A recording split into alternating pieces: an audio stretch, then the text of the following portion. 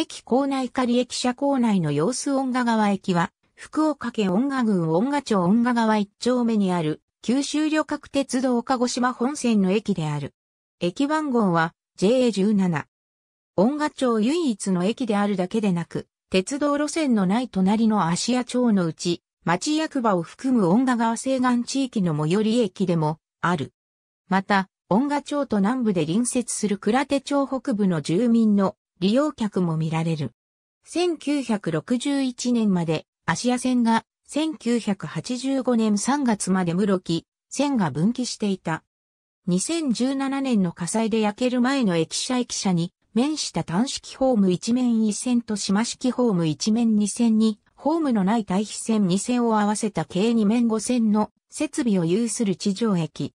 乗り場は単式ホームの1番、島式ホームの2番、3番からなる。2番線は下り貨物列車対比用、5番線は下り着発線、レールセンターの出入り用で、5番線とその外側には廃止されたレールセンターのヤードが広がる。互いのホームは古線橋で連絡している。駅本屋は地面より高いところに存在するため、車椅子用スロープが設置されている。また、駅の外側には実物大のトンネルや駅ホームを備えた実習線が設置されている。なお2020年9月より2021年6月までの予定で、現在の仮駅舎の東側に新たに橋上駅舎とペデストリアンデッキを建設、新駅舎開業時に改札は新駅舎の2階に移転する。JR 九州サービスサポートが管理する業務委託駅で自動改札機及び緑の窓口が設置されている。駅舎内にキオスクが設置されていたが、2009年に廃止、撤去された。前述の火災により、1964年に建設された約400平方メートルの駅舎は消失した。以降、駅舎、西側側に設置された仮駅舎、臨時改札口での営業をしていたが、2017年12月9日から軽量鉄骨造りの約66平方メートルの駅舎が開設される。今後、プレハブではない駅舎の再建について、町と JR で協議する方針となっている。5番線の外側には JR 九州の子会社である旧鉄工業が運営していた旧鉄工業音ガガーレール技術センターがあり、黒崎駅から送られてきたレールをロングレールに改造する工事などを実施していた。当センターには音ガ川駅上備表記の地期5500系16両が留置されていたほか、レール吊り上げのクレーンも設置されていた。その後、レールセンターは廃止され、その跡地を利用して JR 九州と旧鉄工業の合同研修施設、音賀川施設実習センターを設置した。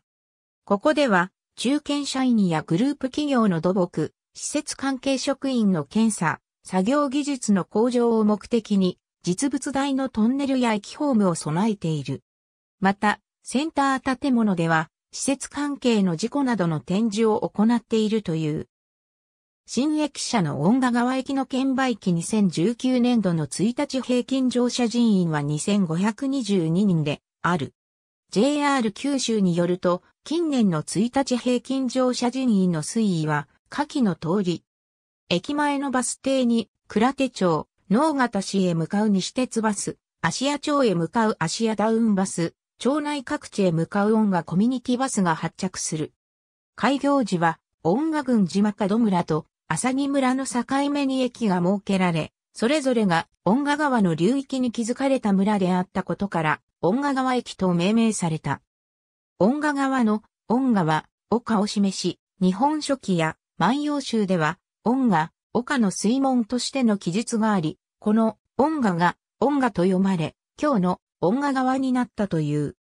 しかし、この音賀川は、古い文献では、能形川や鎌川と読まれていて、音賀川の記載は一切ないため、いつから音賀川と読まれるようになったかは一切不明で、その名が定着したのは明治時代に音賀郡が発足してからと言われる。町の歩み、音賀町。2015年6月9日閲覧。文字鉄道局障害情報単身抜粋昭和22年12月16日付、記事。鉄道ジャーナル第21巻第7号、鉄道ジャーナル社、1987年6月、105ページ。交通新聞、P1、ABCD 実習設備の活用九州旅客鉄道音賀川駅で火災、1時間運転見合わせ毎日新聞、2017年8月30日、ABJR 音賀川駅の駅舎が全焼、NHK ニュース福岡 ABC、新音賀川駅舎9日共用へ、どう見ても仮説の声も、西日本新聞、2017年12月4日閲覧、AB、駅北周辺整備事業、駅前が変わる、街が進化する。音賀町。2021年1月1日時点のオリジナルより、アーカイブ。2021年1月1日閲覧。お知らせ九州旅客鉄道交有者、鉄道ファン2017年7月号、JR 旅客会社の車両配置表、駅別乗車人員上位300駅。九州旅客鉄道。2020年12月22日閲覧。ありがとうございます。